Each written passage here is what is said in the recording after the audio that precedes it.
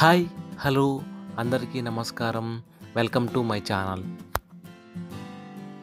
ఇక ఈరోజు వీడియో కేంద్ర ప్రభుత్వం వన్ టైం ఆర్థిక సహాయంగా పదిహేను లక్షల రూపాయల వరకు అందిస్తున్న ఆరోగ్య పథకం రాష్ట్రీయ ఆరోగ్య నిధి గురించి.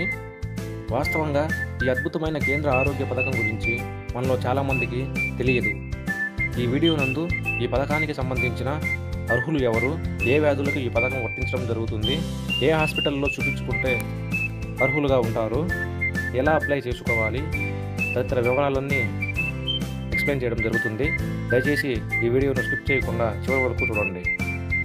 ఈ సమాచారం అంతా పథకాన్ని అమలు చేసే మంత్రిత్వ శాఖ అయిన ministry of health and family welfare అధికారిక వెబ్సైట్ నుండి చెప్పడం జరుగుతుంది. కాబట్టి ఇది వాస్తవమా కాదా అనే సందేహం అసలు వద్దు. ఈ పథకం నందు మూడు రకాల కాంపోనెంట్స్ అనేవి ఉన్నాయి ఒకటి రాష్ట్రీయ ఆరోగ్య నిధి రెండవది క్యాన్సర్ పేషెంట్లకు ప్రత్యేకంగా ఒక ప్రత్యేకమైన నిధిని ఏర్పాటు చేశారు. మూడవది అరుదైన వ్యాధులతో బాధపడుతున్న ఎవరైనా వారి కోసం ప్రత్యేకమైన నిధిని ఏర్పాటు చేశారు.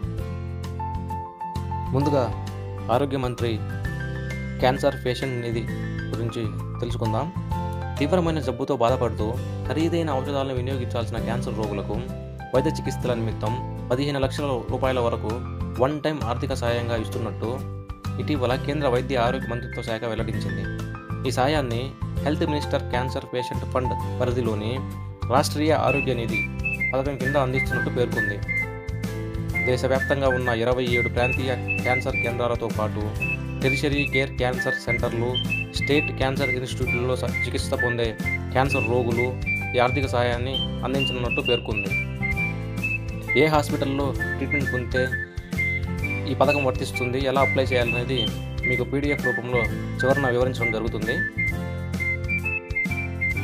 దారిద్ర్య రేఖకు దిగువన ఉన్నవారే ఈ పథకానికి అర్హులని అర్హులైన రోగులకు అందించే ఈ ఆర్థిక సాయాన్ని చికిత్స అందించే హాస్పిటల్కు మనం ఖర్చు పెట్టకుండా మన తరపున అయ్యే మనకు అయ్యే ఖర్చును ప్రభుత్వమే చెల్లిస్తుంది. ఆర్థిక సాయం కోరే రోగులు తమ దరఖాస్తులపై చికిత్స అందించే వైద్యుడు సంతకము మరియు ఆ హాస్పిటల్ యొక్క సూపరింటెండెంట్ గారి సంతకాలతో పాటు ఇన్కమ్ సర్టిఫికేట్ రేషన్ కార్డు ఇవి జత చేసి హెల్త్ మినిస్టర్ క్యాన్సర్ పేషెంట్ ఫండ్కి అప్లికేషన్ పెట్టుకోవాలి. అధికారిక వెబ్సైట్ నందు తెలిపిన సూచనలను మీకు ఇప్పుడు ఒకసారి వివరించే ప్రయత్నం చేస్తాను. ఇక అధికారిక వెబ్సైట్ నుండి డౌన్లోడ్ చేసిన పీడిఎఫ్ అండి ఇది. రాష్ట్రీయ ఆరోగ్య నిధికి సంబంధించిన పూర్తి వివరాలు ఈ పీడిఎఫ్ నందు ఉన్నవి. వీటి గురించి బ్రీఫ్గా ఒకసారి ఎక్స్ప్లెయిన్ చేయడం జరుగుతుంది. ముందుగా రాష్ట్రీయ ఆరోగ్య నిధి నందు మొత్తం మూడు కాంపోనెంట్స్ ఉన్నాయి. రాష్ట్రీయ ఆరోగ్య నిధి health ministers cancer patient fund rare డిసీజెస్కు సంబంధించి ఒక అసిస్టెన్స్ ప్రోగ్రామ్ అనేది మొత్తం మూడు కాంపోనెంట్స్ ఉన్నవి. ఈ health minister cancer patient fund fund గురించి ఇప్పటికే తెలిపి ఉన్నాను.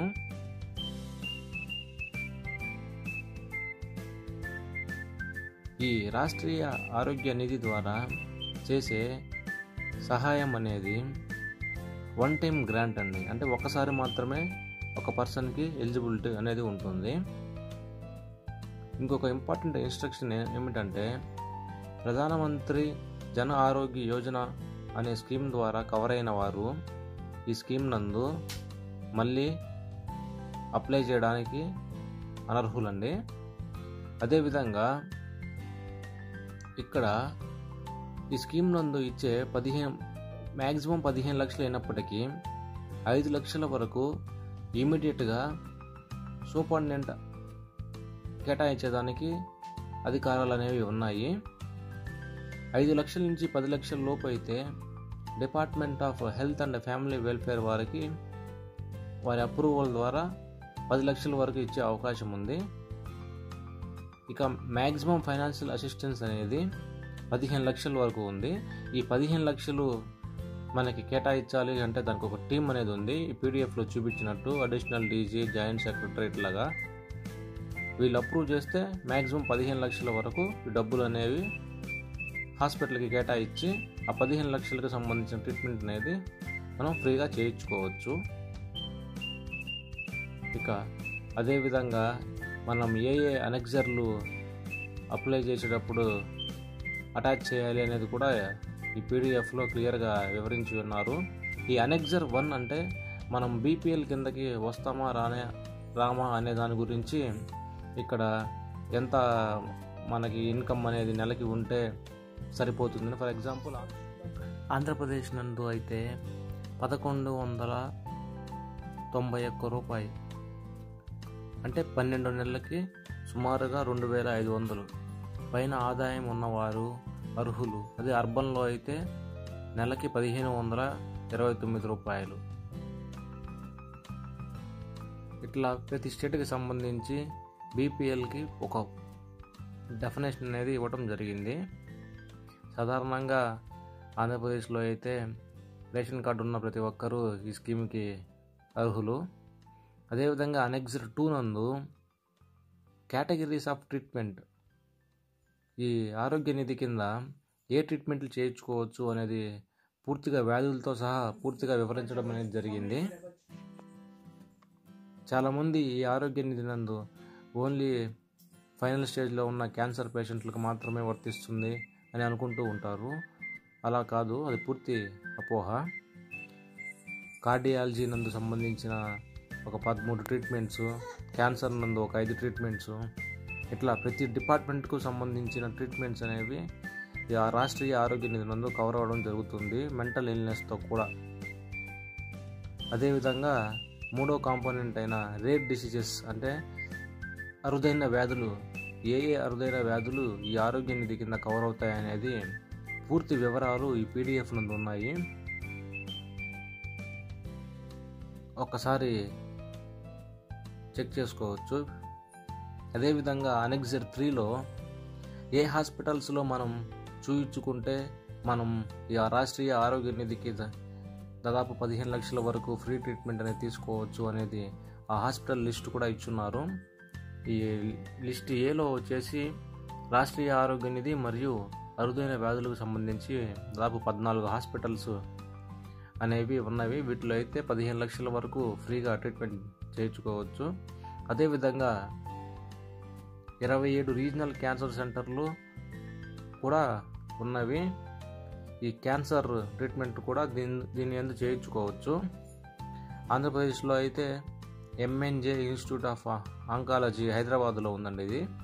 దీని ఎందు ట్రీట్మెంట్ అనేది చేయించుకోవచ్చు. అదేవిధంగా అనెక్జర్ ఫోర్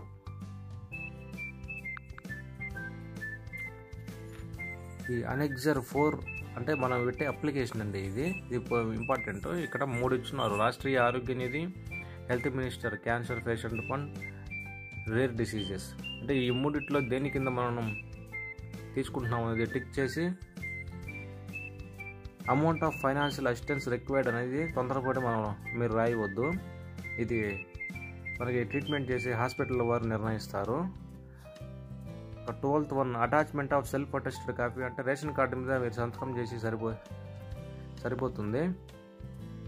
ఆధార్ కార్డు. ఇక్కడ డిక్లరేషన్లో రెండు పాయింట్లు ఇచ్చున్నారండి.